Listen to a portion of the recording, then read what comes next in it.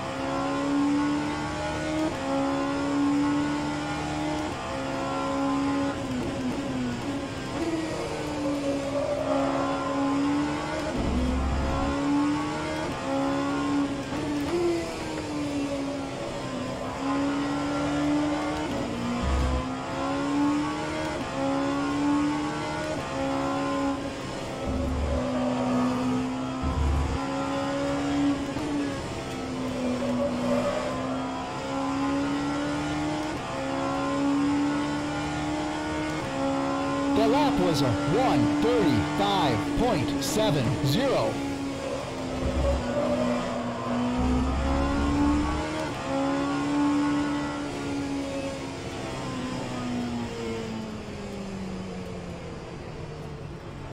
Een 1.35, een redelijke tijd. Eh, tegenover vorig jaar zou dit eh, achter in het LMP2-veld zijn, deze tijd.